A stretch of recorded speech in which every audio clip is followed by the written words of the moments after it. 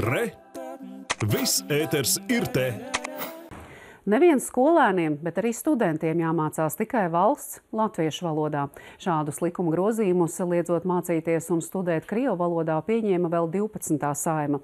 Strīds par mācībām vispārējā izglītībā ir atrisināts un likuma izmaiņas atzīts par tiesiskām. Tagad atbild uz jautājumu, vai augstskolās jāmācās tikai latviešu valodā, jāmeklē satversmes tiesai. Tiesas sēdēji līdzi sekoja Vita Anstrate. Līdz ar lēmumu mazākuma tautības skolās pakāpeniski pāriet uz mācībām tikai valsts valodā, Saima arī lēma aizliegt studijas augstskolās Krievu valodā. Tas ietekmēja vairākas augstākās izglītības iestādes un vairākus tūkstošus studentu.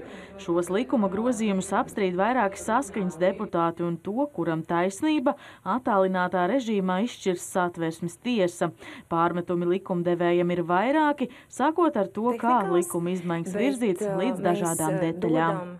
Apstrīdētās normas ministrs iesniedz uz likuma projekta trešo lasījumu, atbildīgā komisijā norādot, ka tie ir nebūtiski uh, tehniski grozījumi.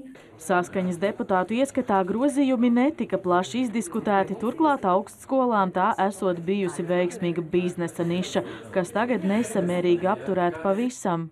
Tādējādi tiek ierobežotas gan augstskolas, gan arī studenti saņem šo izglītību, un arī būtībā tiek ierobežota viņu spēja, eh, viņu vēlme pēc nākotnes profesijas, iespējas izvēlēties uh, savu profesiju. Izmaiņas likumā atļauj mācīt kādā no Eiropas Savienības valodām ārzemju studentus, kas studē Latvijā, un arī vietējie studenti drīkst apgūt studiju saturu kādā citā Eiropas Savienības valodā, bet ne vairāk kā vienu piekto daļu no kursiem. Vēršanos pret Krievu valodu advokāti sauc par diskrimināciju. Saimas pārstāvis pārmetums noraida un norāda uz šī parlamenta lēmuma vēsturisko nozīmi. Mēs runājam par 20 gadu periodu, kur ietvaros mērķiecīgi un pakāpeniski valsts ir virzījusi pāreju izglītības jomā uz tad, valsts valodas lietošanu izglītības procesā. Tāpēc latviešu valodas aizsardzībā un lietošanas veicināšana šīs reformas ietvaros ir noteikta nevien normatīvas aktos, bet arī vairākos politikas plānošanas dokumentos. Šī bija pirmā attālinātā sēde, sekos vēl nākamās, kad uzklausīs iesaistītās puses un tikai pēc tam tiesa varēs pieņemt lēmumu.